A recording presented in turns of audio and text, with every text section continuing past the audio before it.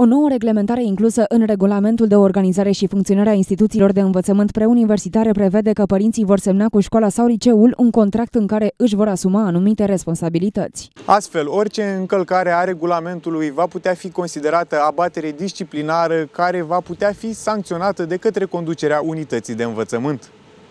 Așadar, părinții se vor face responsabili de toate abaterile pe care copiii le vor face în unitățile școlare. În cazul în care elevii vor acumula absențe, părinții vor fi pasibili de plata unor amenzi cuprinse între 100 și 1000 de lei sau prestarea unor servicii în folosul comunității. În același contract, părinții sunt obligați să ia legătura cel puțin o dată pe lună cu cadrul didactic responsabil pentru a vedea evoluția școlară a elevului. Cei mai mulți părinți se arată în favoarea noii prevederi. Păi este normal.